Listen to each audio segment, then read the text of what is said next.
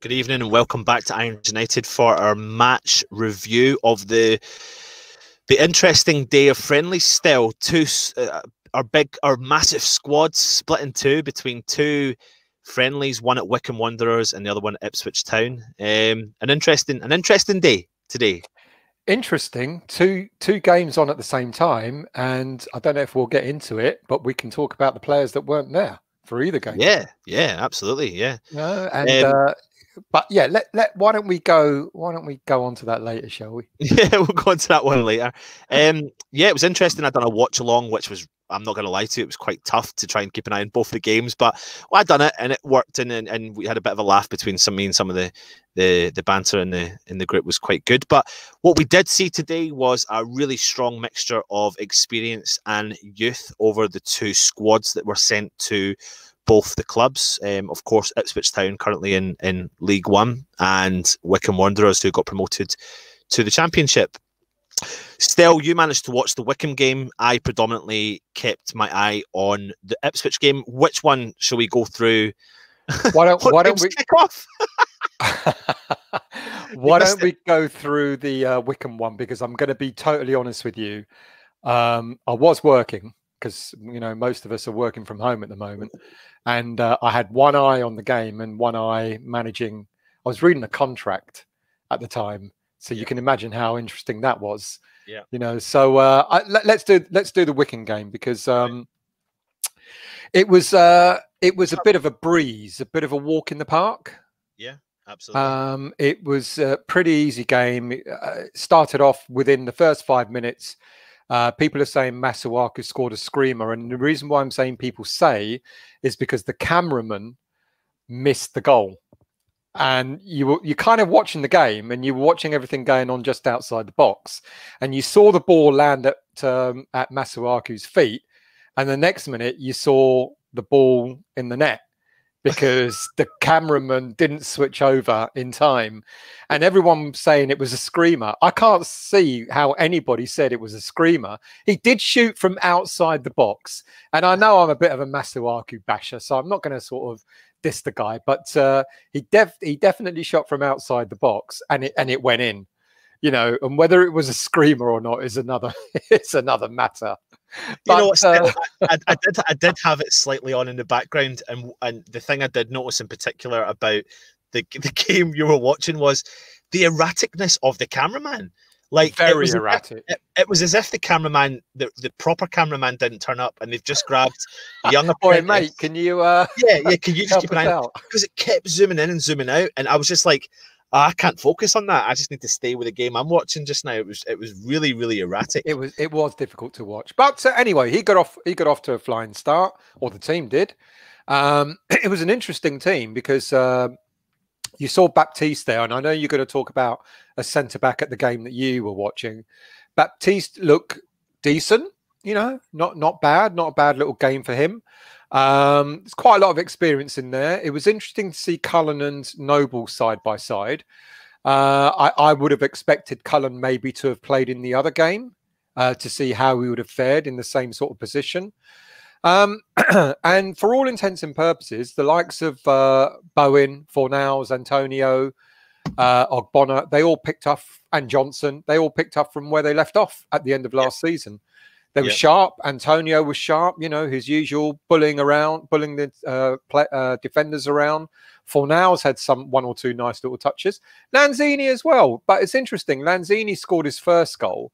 Didn't look like he celebrated much. He celebrated more for his second. Yeah. But Bowen picked up, you know, Bowen was in, you know, a bit of a fox in the box for his goals. He was just in the right place in the box at the right time. And uh, it's it's really quite it was given that Wycombe have just gone up to the championship, and ironically, Ipswich has just gone down to Division One. Is that correct? Oh no, no, I they've think... been in League One. That's the second season. Oh well, have they? I thought that. Okay, my apologies. Yeah. So, um, given that Wycombe are the ones that went up, um, I think they've got a lot to. Uh, I know it's only a friendly, but I think they've got a, a lot to do to stay in that league because their defending was woeful. And yeah. um, but you know, uh, we're not worried about Wycombe. We're more worried about West Ham. Yeah. And some some of the young lads, uh, people are going to probably ask, what about Cullen? he was in the game, Uh, but uh, I, yeah, Mister just said Baptiste was good. You, you, Johnson was good.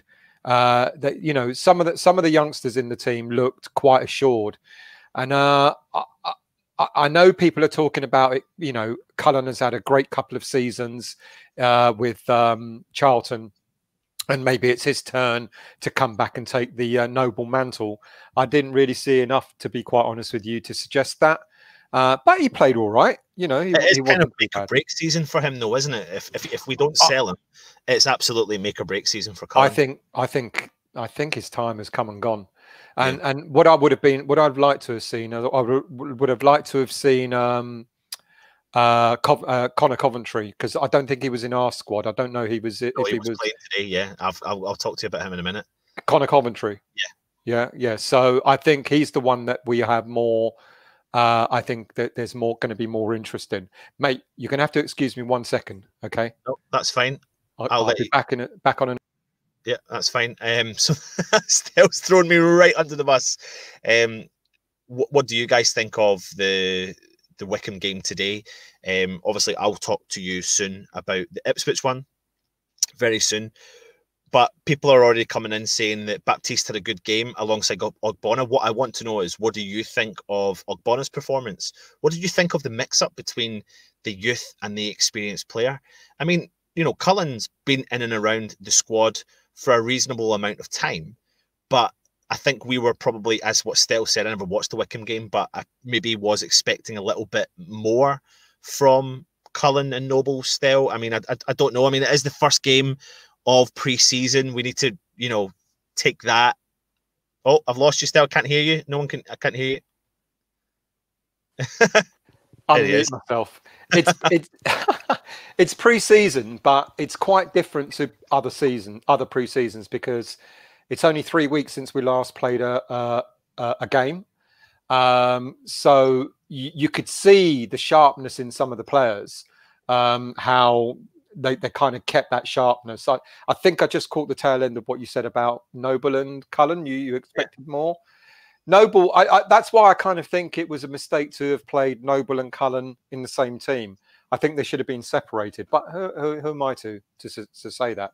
But uh, I would have liked to have seen Cullen play with maybe Soucek, for example, to see how would have how he would have fared along alongside him.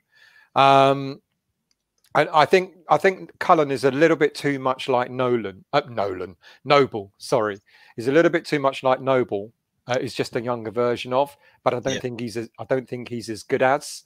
Um, I just don't really think he he's his time is his time has come and gone. Yeah, yeah, there you go, Kent. He's 24 years old. If he hasn't made it yet, he, he isn't really going to make it. And and it's a shame because I know Charlton love him and and I know they they, they think the world of him. But uh, it's funny because we, we talk about other players who have been um, at West Ham and we always talk about how maybe they found their level. Like Hugill, he's now gone yeah. to Norwich. He's yeah. found his level in the championship. Yeah. That's where he was came from, etc. And I just think maybe, with the greatest of respect, I think maybe Cullen's level is a, is a mid-table championship team. Do you think? Do you think then? I mean, in particular for you watching the Wycombe game, you were probably taking a key interest in the younger players like Cullen and Baptiste, and of course we've seen a little bit about Johnson. So I mean, I mean, let's go into Baptiste and let's go into the position which is we, we, we're aware that we think Moyes wants to strengthen in that Absolutely. position. Do you think he saw enough in a, in Baptiste? I mean, listen again. I need to be reminded of the fact it's the first game of preseason, mm-hmm. but the but the season is only around the corner still, and, exactly. and you know West Ham haven't sold any players yet. We don't have the money there in our ranks. Um, well, we're clearly going to need uh, backup in those areas. If we don't buy, I think I think we seem to be a little bit blessed because I know you're going to talk about uh, a player that you were watching in centre as a centre back. I think we seem to be quite blessed with qu- quite some decent talent uh, as as centre backs. Yeah. Um, now it, it, it will be quite risky um, playing a whole load of youngsters in defence. Uh, I think you do need that. I, I, get what Moyes says. I think you do need that mixture of uh, of uh, youth and experience at the back. but it's it's really uh, good to see that we've got a couple of quite decent looking centre backs. Yeah. Um, and I know you know, Cardoso was meant to be the one who was going to be the breakthrough from the uh, youth squad because he was bought. If you remember, he was bought at the time. Uh, we were told that you know Pellegrini bought him because he was going to be first team ready, and, Absolutely. and well, he, he wasn't, was he? Yeah, no, Um, definitely not. yeah. So to have I seen Baptiste play, I think was a good thing. Yeah, and he, he looked all right. He looked all right. And then, of course, we what David Martin I heard was substituted at a certain point, and we got to see the first, you know, first glance. Anang as well playing in, in goals. I don't know. Anang, Yeah. Anang is highly rated. Um, is a very highly rated uh, keeper, as is Nathan Trott. Um, it's I, I don't know of the two. If if I was a betting man uh, of the two, I think it would be Nathan Trott that might get the nod for third team, uh, third goalie. Premier, uh, for, only because he's gone out on loan. Only because he went out on loan to. Uh, he's had a Um, bit of experience with Wimbledon, uh, and then maybe, maybe uh, if if one of the two is going to be sort of uh, brought into the first team squad as a third third choice keeper, I would think Trott. But Anang looked all right, and they're both very highly rated keepers. So Yeah. yeah. Absolutely. And then going forward, uh, still, I mean, there, there, there's a lot of attacking options there. In actual fact, there was a lot of attacking options over the two sides that were were, were playing today. So you, we got to see Bowen, Lanzini, Fornals, and Antonio. You mentioned briefly there Lanzini, but how, did- how did you rate the four of them in particular? I mean, Bowen, did he? You said he hit the ground running, but I mean, Fornals, Yeah. Fornals looked good. Uh, Yeah. Fornals had a decent game. Antonio had his usual game, you know, uh, uh, up there bullying everyone, etc. And uh, it's it's quite intriguing because uh, Bowen, Fornals, and Lanzini uh, kind of gelled quite Yeah. well. Yeah. Um, And and you know, I think uh, it's going to be really intriguing, isn't it? Because if we don't if we don't sell any of the players, if we don't loan any of the players out or anything, and we don't get anyone in, I actually said on on the show on Sunday, uh, if we don't actually buy anyone, I don't think it really matters because we've actually got some really decent players in our squad, and if we utilize them in the right way, there's no reason why they can't, you know, they can't excel. Um, I think of the players that maybe Lanzini just just that still doesn't look like, still just doesn't look like he's he's the, the Lanzini that we that we once knew. Uh, but he play, played all right. There you go. Gary, Gary thinks he played poorly, you know, but uh, I think he did all right. I mean, he scored two goals. Like I said, his first goal, he didn't even look like he was celebrating, but uh, Messi. well, I'm Should not we- sure. I'm not Should sure. we do a swap deal for Messi and Lanzini? I tell you what, we'll give them Anderson, Fornals, and Lanzini for Messi. How about that? Stel, I'm not. I'm not aware. I don't think you've seen the breaking news tonight that Messi's actually asked to leave. Yeah, I know. He's asked to leave. Yeah. I don't know if you've seen that. Sorry. Yeah, so yeah, no, I did. I did. And uh, Yeah. City are poised, aren't they? He's going to City, isn't he?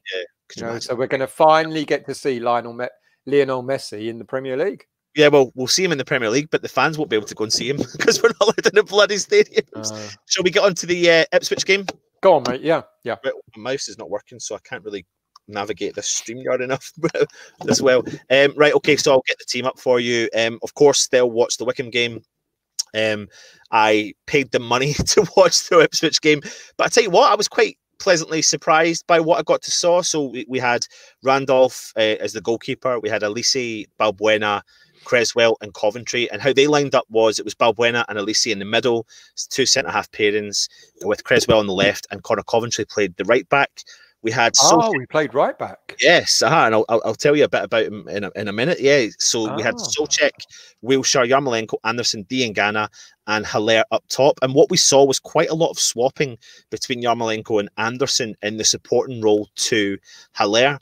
Now, in the first half in particular, still, um, Haller must have had three clear cut chances.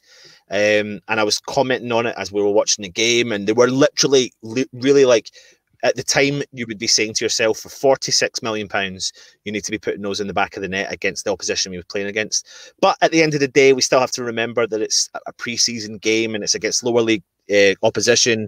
We're just back from a you know crazy times etc you know i sound like i'm doing him an injustice and he went and off uh, off he went in the second half and scored a hat trick do you know what i mean? Like how, how can i really really fault him? But you know players I was looking forward to seeing today out of that lineup in particular were Diangana, because he's on the topic of conversation from every fan's um, point of view. He's back with West Ham after a successful season with West Brom, Conor Coventry. And to be honest with you, I didn't know a huge amount about Alese, but I tell you what, Stel, if he can produce what he did today for West Ham, we have no problem at centre half. Now, very quickly in the first like couple of minutes, Balbuena got a hold of the ball and played an awful clearance directly to the Ipswich side. And straight away, you thought he's sluggish, and it put a lot of pressure on Conor Coventry because Conor Coventry was playing on the, the, obviously the right of Balbuena, who's the right-footed centre half, and Alese is the left-footed centre half playing beside Cresswell. And quite quickly, you saw that Ipswich were going to attack that side. So that put pressure on Conor Coventry maybe with the first 20 25 minutes and he looked he looked like he was potentially having to cover for Balbuena quite a lot. But what we saw was I, I couldn't believe it. I had to actually at some point go and check the age of this guy. He was so calm. He was so collected. He got hold of the ball. He was calling the lines. He was absolutely telling Balbuena where to go calming Balbuena down. The ball would then you know a couple of times throughout the game they were playing the ball through the back four and every time Alese got the ball, his head was up, he was looking round, and still he wasn't just doing short passes; he was pinging the ball. Are we was... um, are we talking about uh, a future uh, Rio Ferdinand on our hands? I, I, I just I'm really worried about getting carried away about the young lad.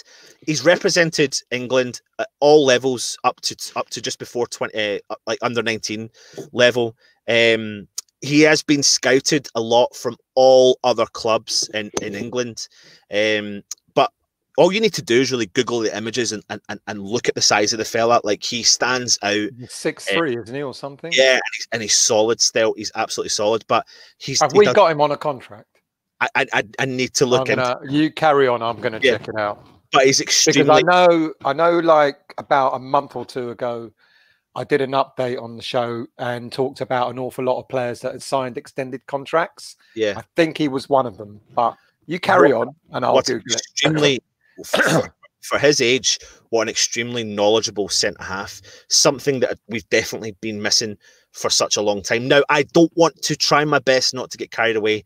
It's preseason. I don't know how many times I'm going to say that throughout this show, but still, the, the, again, there were several times that he, when he received the ball, because he he was looking up and looking in front of him and he was creating space and creating time. He was actually passing the ball forward and he was actually they were penetrating passes sometimes. But i think in the first half i was uh, must have been three particular passes he made. He was on a halfway line he looked up and he pinpointed yarmolenko making a run and it was the most beautiful ball i've saw from a centre half then he'd done it about two minutes later to Haller, and that was one of chances Haller should have put away. And it was because it was nearly assisted by our centre half young lad, um, Alese. He was so confident when Ipswich were in the attack inside the 18 yard box. He was strong. He was pushing players off the ball. He was blocking chances. You know, we went through that stage where all our defenders, like it was like Winston Reid and James Collins, were constantly throwing their body on the line to just block, block, block. He was giving us that throughout the first half. And the, and the reason why I'm really passionate about it is I didn't expect it. I did not yeah. expect that yeah. performance from that young lad to come well, in. Let's let's give you a bit of background on him. Um, he's developed through the youth squad, played for the under 18s and the under 23s. He went out on loan last season to Accrington Stanley, came back. He is signed on a contract till the end of next year. Well, next June. Next so June. If and to be fair, if he's good, fair, we Ken need to uh... on stream with me when I was talking, and he did say he watched him last year. He spent last season on loan at Accrington Stanley. He's played 10 games with Accrington Stanley. So, Kent, yes, I totally, I'll, I'll, give you that. Yeah, you 100% did say it. And I tell you what, mate, and I mean, let, let us know your thoughts in the comments. If you watched the Ipswich game, what did you actually think of his performance in particular? And I tell you what, Stel, what he did was he actually brought Cam into that defence. And what we saw from the start was panic, literally minute one. It was instant panic in our defence, and very quickly it all calmed down. And then it allowed Balbuena to gradually progress into the game and Conor Coventry, who also had a very good game at right back. But th- that's the interesting thing. Conor Coventry's main position is uh, defensive midfield. Yep. And uh, I thought he also played at left back, but that was actually Joe Powell, not Coventry, who Joe no Joe Powell's now gone. But uh, I think that's really good to hear as well because Connor, I, I have said that uh, if any of the um, uh, youngsters are going to break through this season, it's going to be Coventry. But Alese, uh, he's he's 19 years of age, so you know if you're good enough, you know you're you're you're old if you're old enough to to break into the team, and and and why not? Because that could save us 20 million for a centre back. Here comes the but though. Typical West Ham fashion. About 60 minutes into the game, he's tried. He's actually gone forward and tried to keep the ball in or try and cross the ball, whatever. And he's jarred his knee into the ground. And then he's, right. he's he was lying down for a little while. And I thought, oh no, because he's had such such good performance. He got back up and he played for a further couple of minutes, and then bang, uh, they made a substitution and brought Cardoso on for him. And he looked a bit sluggish coming off. So I'm really, you know, he was down for a good couple of minutes still. And when you look back at the replay, it's one of those ones where his body goes forward, but his leg is straight. So I'm just really hoping he's kind of got pulled through that and we get to see a little bit more. I think we play Brentford on Saturday. Um, so it'll be a good test against a, a positive, you know, a side that nearly came up to the Premier League this year. So it'll be a good kind of other test for West Ham. But Connor think what's, what's going to be interesting, mate, is um, is when now that we've had this double header of games, um, it's going to be interesting who David Moyes keeps in the first team squad. You know, the, the, which, which youngsters um, because he would have got a report from, uh, I think Irvine yeah. was at the Wycombe game, so he would he would get a report a, a report from him, and I think maybe uh, Moyes will will it, would be quite telling to see who he decides to sort of keep with the first team squad. We yeah. know we know we know Diangana, we know uh, Johnson already there. My feeling is Coventry will stay, but uh, if he decides to keep Alese there, there as well, that's not a bad little mixture of uh, youngsters breaking through. Absolutely not, mate. Absolutely not. Um, loads of comments are coming in asking about the rest of the, the, the performance. But you know, sorry for getting really excited about this young prospect. But it is nice to see. What what it did do though was give Cresswell a lot of confidence playing alongside him. And you know, that side there was literally couldn't even fault anything really that went wrong in that side. Then what we got to see was a midfield. Let me get this the the team back up here. Um, a midfield, you know, the, the, Soucek, Wilshere, Yarmolenko, Anderson, Diangana, and Haller. So, of course, I was really excited to see Diangana. And the funny thing was, Diangana was actually really quiet in the first half, although he's ended up the game with three assists. But what he does offer us still is a completely different outlet. He's actually really unpredictable. And who who played in what position, mate? Who played in centre attack? Diangana played on the left. Between Yarmolenko and Anderson, they kept swapping throughout the game very consistently. So, so Anderson when, was playing primarily on the right hand side. No, Anderson was playing straight through the middle. Oh, he was playing through the middle. Yeah, he was playing oh. through the ah. middle. Yarmolenko was on the left. Uh, yes, they kind of yeah, and they just kept swapping in and out. And Yarmolenko kind of had a free role. He was out on the wing, but just drifting in all the time. And to be honest, he was actually probably, if not apart from the fact that Haller scored a hat trick and Diangana got a hat trick of assists, Yarmolenko was up there for our most creative player. And I think someone else in the comments during the uh, during the watch along was constantly saying, "I don't know why West Ham fans don't rate Yarmolenko." And I quickly addressed the comment by saying, "Listen, I am a fan of Yarmolenko. I know you are still. we know he's got technically gifted footballer, but if he plays out of position, he's not got the legs for those positions. Yeah, he's a smart player. And if you look back uh, in our games after after uh, we came back from lockdown, and the way he the way he anticipated what was going to happen in the Chelsea game when we got the ball out of uh, defence, and he saw right, Antonio was there. He's going to lay it off. I'm making my run. And he anticipated that, and I didn't think Yarmolenko was fast but how he got from one end of the pitch to the other, and or, and in order to sort of get that, you know, um, score that goal was yeah. superb. He's a technically gifted player, and, yeah. and this is it. This is it. You see, and I know he's coming. You know, he's he's not the sort of age that that uh, Moyes might want, but I think even Moyes kind of suspects he's a player that's worth keeping around. He's a bit of a match winner, so long as he stays fit. So long as he stays fit, yeah. he, he's a he's a bit of a match winner and I like him. I, I, think the guy, if if we can get a whole season out of him, I reckon he's a ten, he's a double figure goals man. Quite yeah, easily. he is. Quite he gets him, he does get in those positions, and he's really clever on the wing. He, he, he just has this ability to drop his shoulder, and the player goes, but he's still got the ball. Yarmolenko's still got the ball, so the play he, totally just sells the player off, and he stands and he, he honestly looks like for for what they call a technically gifted player who's slow. He honestly looks like he can trick the players into going, stand yeah. and wave, take his time, and then do it again. He yeah. just constantly drops the shoulder all the time. It's brilliant to watch. Yeah.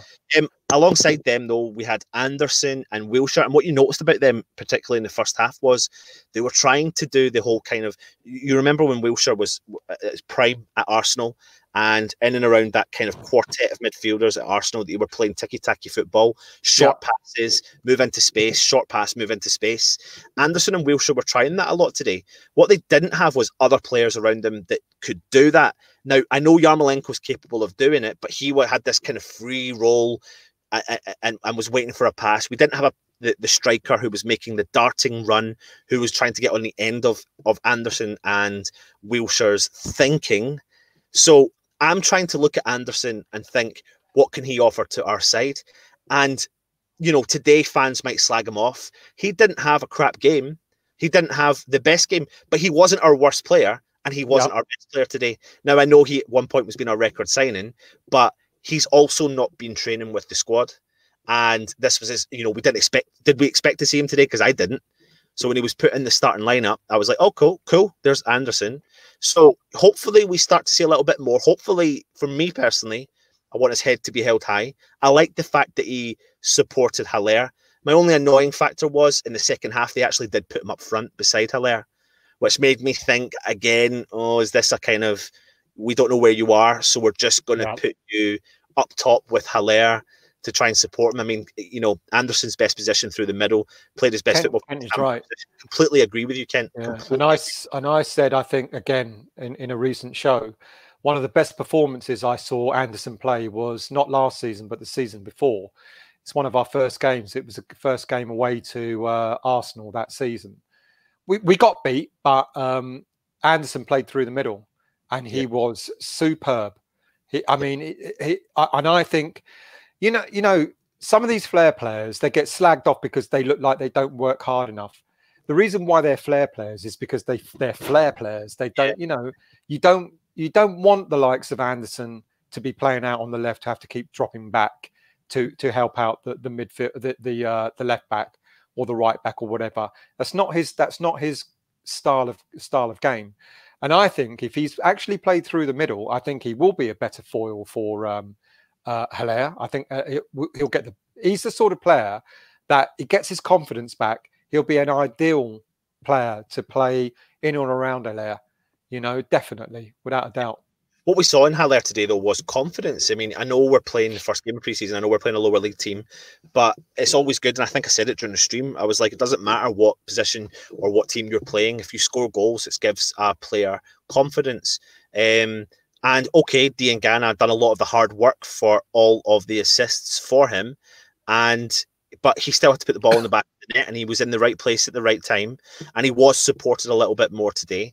And you know, at one point, he was actually flicking the ball with the back of his heel. He was doing a couple of Rabonas, and he done it once. And I think you came on the stream still when he done it. He he, he penetrated the defence straight through to Yarmolenko, who hit the post at the time, and it was all created from Haller. And Haller actually, in theory, even though Diangana got one of the assists, Haller created that chance from start to finish. He was involved in the whole build-up play. He was getting himself into the right place at the right time. This is the sort of thing that we've been talking about for quite some time, isn't it? Do you remember at the beginning of last season when we bought Fornals in and we were talking about all our attacking players? You know how how excited we were, you know, with the likes of Haller and Fornals and Lanzini and Anderson, Yarmolenko, all these players, we were like salivating. We were going, my God, we're going to be, you know, we're going to be scoring a hatful of goals against every team that we play. And uh, and I think um, we were kind. I think these players were kind of stifled. Uh, um, Pellegrini did it, which is a surprise because he loves his flair players, but he kind of didn't play them in the formation that would have got the best out of them. And then when Moyes came in, because we were struggling, he had no choice but to do the same. Yeah. But if we can, if we can um, get that solid defensive, that solid midfield foundation, uh, which will be hard to penetrate, you can imagine the likes of Haller mixing with Anderson or Diangana, Yarmolenko, Fornals, whoever it might be. You know, or and any combination of those players playing in a sort of a kind of a, a three up front, knowing that there's a solid defense behind them. Then you've got the likes of Bowen as well, you know, and stuff like that. It's kind of uh it's kind of uh you hope that if they're played in the right way, these these are the players that can get a hatful of goals for you. You yeah. know, absolutely. And and we and there's all this talk about going out. We have to buy a flair player. We don't have to buy flair players. What, what Moyes knows is we've got to buy a few more solid defenders. So these flair players are free to actually play their game. Absolutely. Um, you know, like I said, Diangana probably has a lot to play in, in, in the in the threat that that Haller op, um, offered today because, like I said, he, he, he was extremely unpredictable. He's a clever footballer. Um, you know, he was quiet in the first half, but he just came to life in the second half. And eh, eh, you know that's what West Ham fans want to see is is young players be given an opportunity and fight for a position um, for the up and coming season. Um, a few other things of note, really, were the fact that we used all the subs bar the keeper, so we didn't get to see Roberto today. but what we did get to see was Cardoso came off the bench, and yeah, he kind of he kind of started. He left off where Alese started, but he, he wasn't. You know, it was, it was all right. He had a decent performance. He played a good uh, forty minutes. 35 minutes, so he done all right. We got to see Lewis and Kemp um, for the last. What was, what was Alfie Lewis like? Never saw anything really. They were really quiet. By okay. that point, um, they both came on to play in the midfield, and and literally we played the balls down the wing for the rest of the game. So they hardly got a hold of the ball. Um, it was really interesting because again, doing the watch along, you're commentating, you hardly mentioned their name, so they really had nothing to do with it. And then we brought on the young lad, um, Dik, Odubeko, Odubeko, the Republic, know, he's a Republic of Ireland. Um, With youth, a name like that? Yeah, youth international, born and bred in Republic of Ireland. Okay. Uh, youth international, youth international for them, and he actually we signed him from Manchester United still, and he's prolific. He was prolific at Manchester United um, when he was there. So what's intriguing is how we how we managed to bring him into our books. But he came on and he went up front with Haller, and you know he had a couple of touches. He held the ball really well. He passed out, made some space. Never had a chance, but it was just nice to see another youth player come on. So that really kind of brings to an end, I suppose, our review of those two games. Should we now talk about who wasn't there? Yes. Oh, were you going to say something else? No, no, that's what I was just going to say. You're going to say, okay. Let's go through them, shall we? Fabianski yep. wasn't there. Fredericks wasn't there. Diop wasn't there. Um, and of Mr. course, Declan, Declan Rice. Rice wasn't there. Yeah. Yep. And now, today, one of the players were, I think there was a lot of people looking into it, but Declan, uh, someone wore Declan Rice's number today. Um, and oh, there was really? Number 41? Yeah, I can't remember if it was one of the young lads. That's um, only because Declan's taken the number five shirt. I hope. Uh, yeah. Not not not the not the Chelsea number five shirt, the West Ham number five. I certainly no, don't. It, I don't read too much into the, the, the, the squad number specifically over that, but I think still we're putting two and two together, and we think we're coming uh, up with the right answer. But people are kind of coming in the comments here saying that they're pretty confident that um, it is what we think it is, which is yeah. I think I think it's obvious because uh, when I did uh, the show on Sunday, and I did a piece on on him. I gave five options as to uh, why it might be he didn't go to Scotland. Uh, and then I was reminded Fredericks wasn't in Scotland either. And I think we kind of knew that anyway. Uh, and I was told, don't forget, they were both on holiday together. Yeah. And lo and behold, that now starts to make sense because I suggested, well, he, he was he went didn't go to Scotland because he was given a, a, longer rest than everyone else, but which is rubbish because he was at Rush Green on the Monday, uh, the day before they went to Scotland. I, I said Declan maybe got a little knock and had to stay behind, or he was signing his, uh, you know, his new owners didn't want him to go and train, which is, I think, is just not true. But you know, it's that speculation. And then I suggested that uh, perhaps he's uh, he's uh, he's isolating, And I yeah. think that's what it is. And and I what I'd really wish is to stop all the rumours is for the club to turn around and say, we know there are 14 players out of 12 teams who are isolating. Yeah. Uh, and and and you know, it, it, there's a there's more than the 50-50 chance, there's a 60% chance that one or two of those players are from West Ham. Yeah. So all they've got to say is, you know, they, they, they're they're self-isolating. They'll be fine. They'll be back in a few weeks' time or whenever it may be, and and and have done with it. Don't hide it. But There's they don't. No... They, they don't work that way still. But what you know, everyone's extremely confident in the comments. They're saying that Declan Rice is not going anywhere. I, I completely don't want him to go anywhere, and I don't. I'm not sitting here trying to start a rumor in any way whatsoever. But what I am saying is, there's not a player that's not for sale. he's not switching nationality today. He's been included in the setup actually um, in the England squad today as well. He's he's not like he's not like Anton here, who switched nationality from Scottish to English. So yeah. come on. Yeah.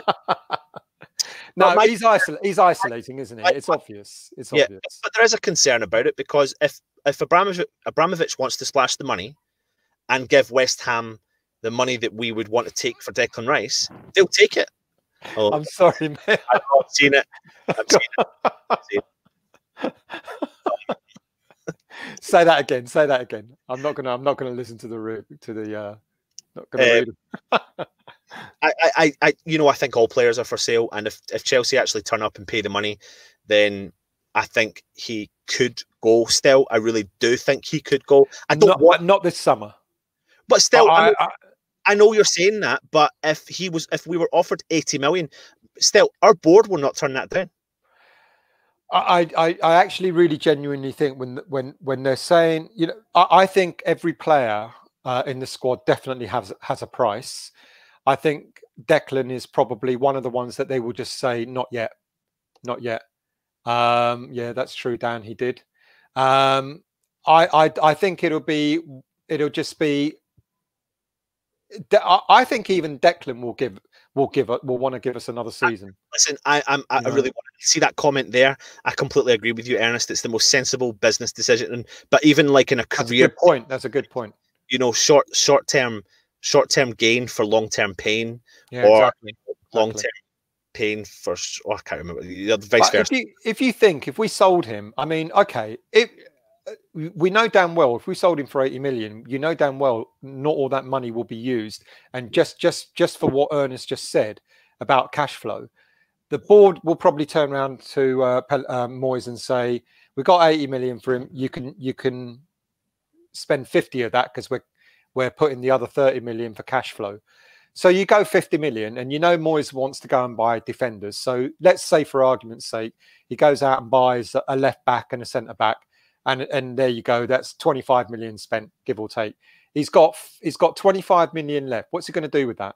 You can't buy a Declan replacement for 25 million. You can't, but what you can do is you can bargain with some of the players you've got in the squad that you're willing to to get rid of in that squad. You know, I mean, Uh, you just don't know really what they could do. Barkley could be up for grabs. Some of their defenders could be up for grabs if they want to get that man in. And and, and, and if he is, the rumor is that Abramovich has literally got a little bit of an open checkbook right now and is giving it to Lampard and going, who do you want? Go and build, go and give me the success that you think you need. And there's no ifs or buts about it. Lampard will be looking at Declan Rice going, I fancy him. Oh, absolutely, absolutely. Knowing that he's a Chelsea boy and all that sort of stuff, his whole family are Chelsea, etc., etc. Yeah, and it, it makes absolute sense to uh, Frank Lampard. It doesn't make sense to West Ham. So, and right now, West Ham are in the driving seat, and and as much as we are in financial difficulty, as most clubs are, because of the COVID situation and all that sort of stuff, I think I think uh, um, Moyes will sanction sales of other players before he would even remotely want to sanction the sale of Declan Rice. Here's hoping. Know? Here's hoping that you know some of the videos and some of the comments that Moyes is is, is coming out and saying is actually.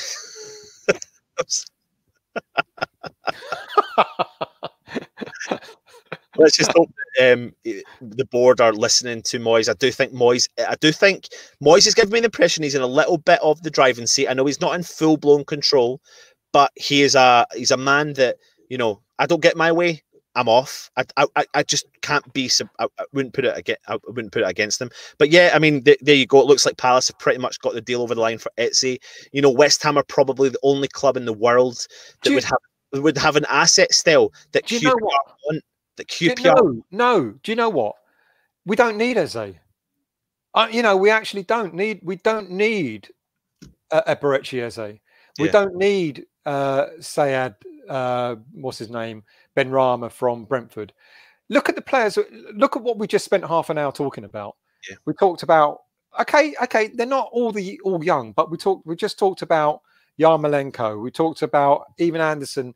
You know, had an all right game. We we talked about uh, Diangana. We've talked about Haller. We you know, uh, Bowen. Um, you know, we've got we there's about half a dozen players that we're talking about that Eze would have to compete against if we don't get rid of.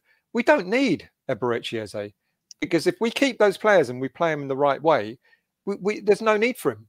So yeah. we get carried away with all the rumors. We get carried away with, you know, the fact that we're up for and and the, the whole media circus goes.